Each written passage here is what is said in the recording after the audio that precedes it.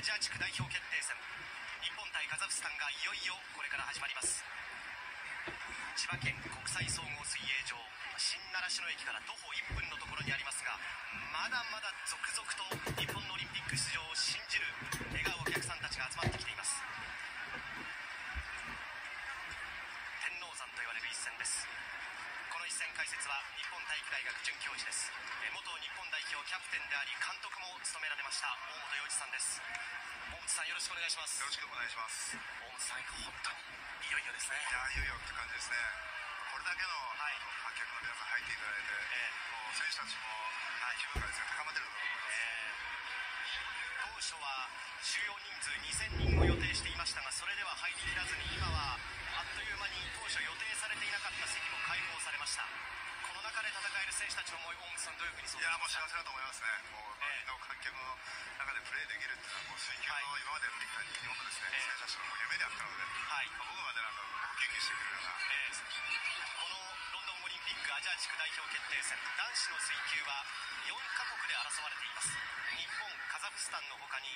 中国クウェートが出場しています。4カ国総当たりのリーグ戦で1チームのみにアジア代表としてのオリンピック出場権が与えられる大本さん本当にこれ厳しい中での戦いですよね、はい、もう全勝するしかもう道がないというような戦いになります。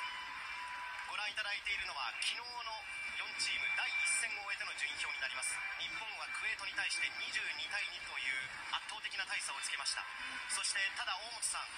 昨日を終えての順位はこうですが日本カザフスタン中国三つどもえの対決と言われていました。やはりこの3カ国の争いいよいよ今日からということになりますそうですね、あの大会自体はもう選手も昨日のインタビューで言ったんですけども、今日から始まるという気持ちでやってますね。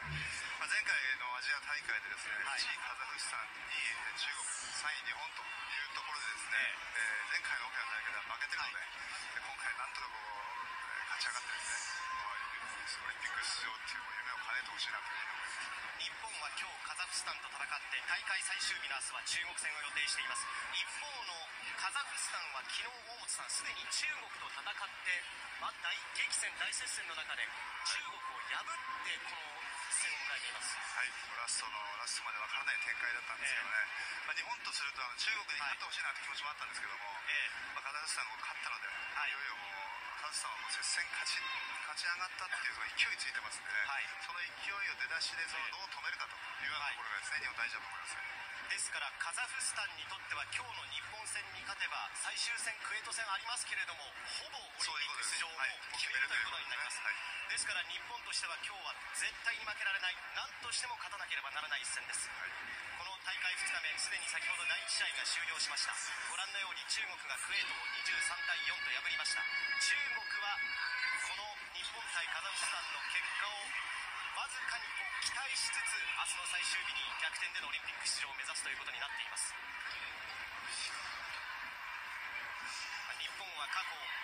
リンピック出場を果たしましたが最後に出場したのが84年のロサンゼルスオリンピック。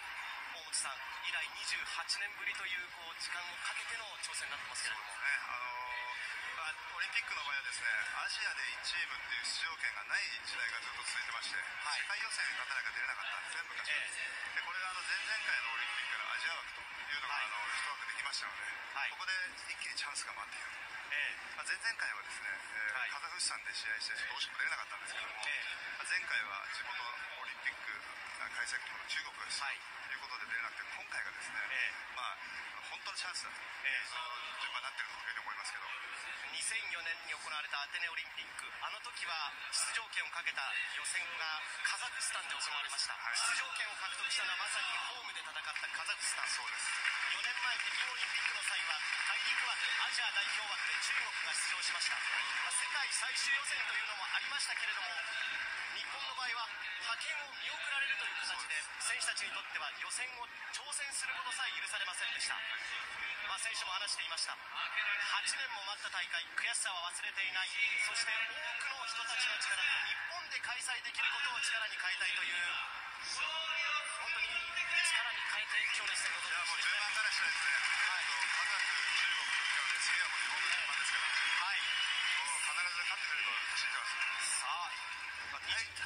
体力、あの泳力、スピード、その辺を考えるとですね、日本がですね、えっと一歩出てますので、はい中チャンスは十分あります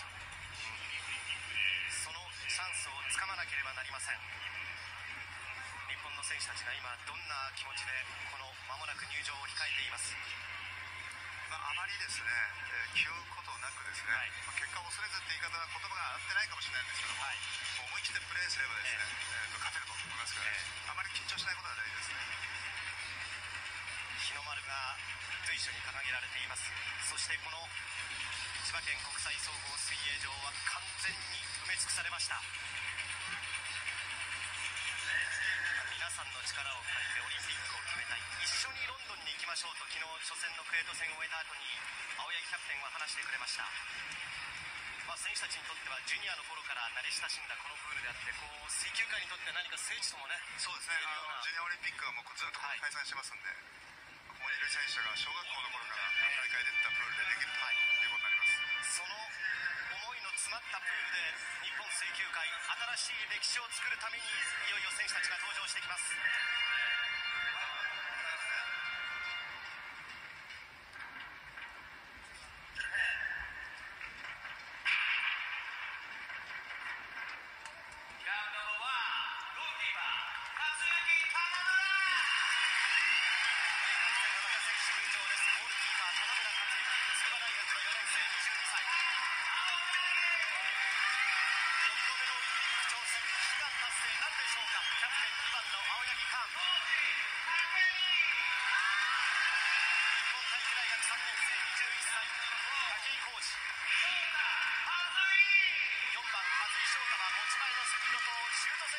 しています。25歳。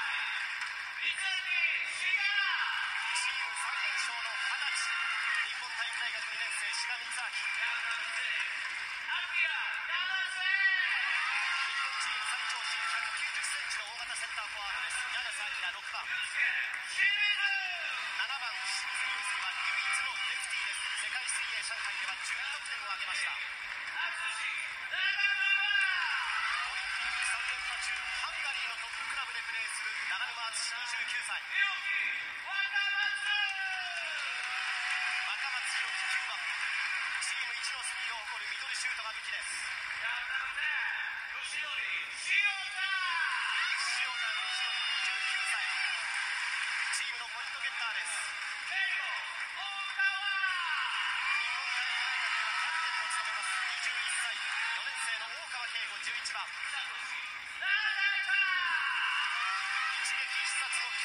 シュートを持っています。30歳永田聡花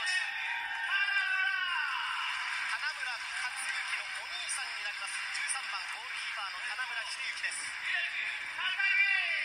率いるのは49歳高木秀樹監督。やるべきことをやって臨む一戦と話してくれました。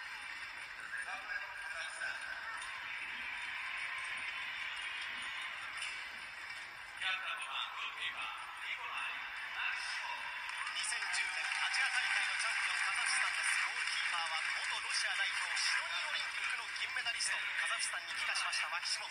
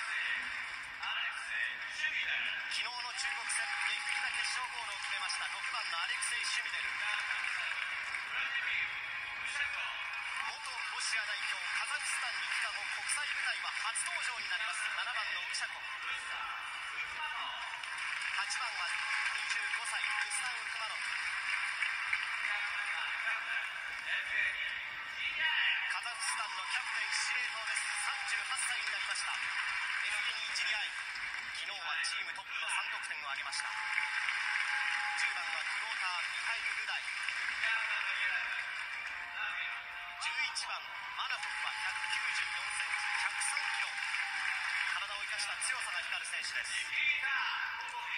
12番は22歳190センチのポポリ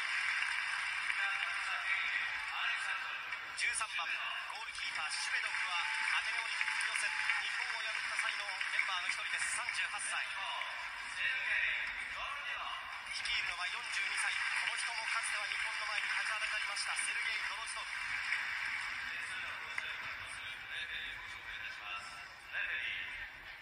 場内に。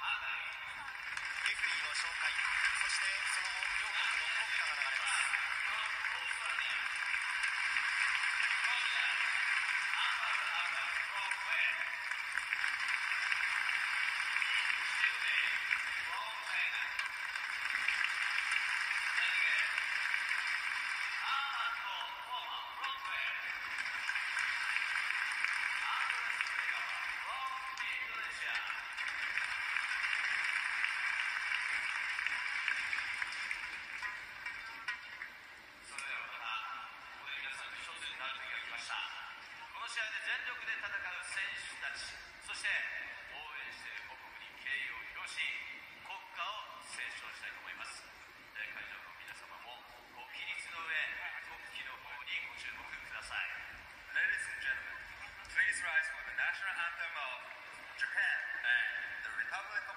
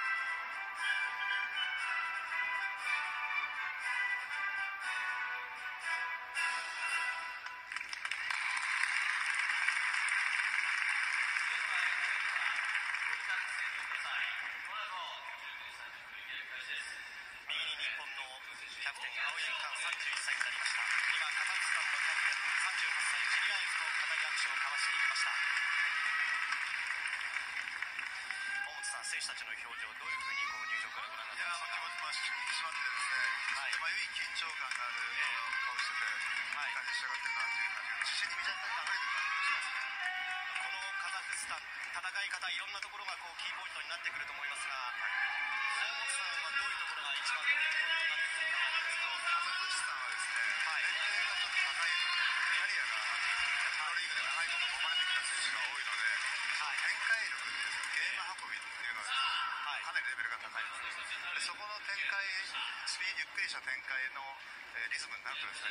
しくなるので、日本はやっぱりスピードを生かしてですね、ええカウンターアタックからテンポの速い攻撃、ここで早めにリズムを取っていくことがすごく重要になってくると。カザフスタンは平均年齢でいうと29歳ですが39歳マキシモ38歳2人3人という選手がいます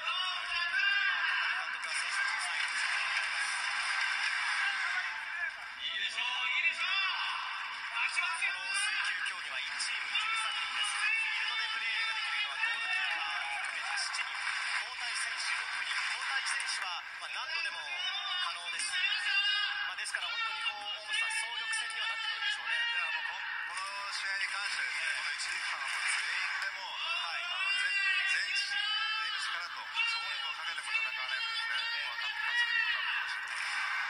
おらくですけれども、最初のスターティングメンバーが、情報によると2番の青柳、3番武井、7番清水、8番長沼、10番塩田、11番大川、そしてゴールキーパーは13番、田村秀幸というふうに、入ってきていますけれども。それぞれまず最初の立ち上がりポイントはどのあたりになってきました、ねっぱ様子を探るようなことになると思うんですけども、やはりこう先取点をどっちが取るかということによっていうのは大きくゲームの流れが変わってくると思います。で先ほど申し上げたんですけども、そのカズフシさんはですね、ゲームを展開する今余裕っていうかですね、はいあの試合慣れしてますので、えリードされるとですね、はい落ち着いてボールあのゲーム運びをされますので、えリードされないというところがこの大事なことになります。まキャプテンの青柳も相手のスローペースに合わせないことというの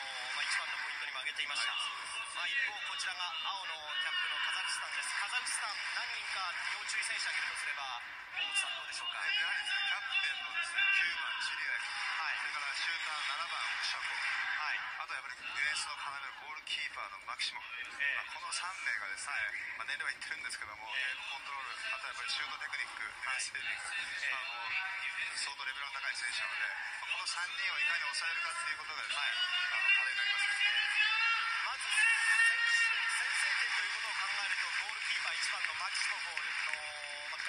崩していかなければならないわけですが、はい。まあ、ロシア代表としてシドニーオリンピックにも出た選手でもあります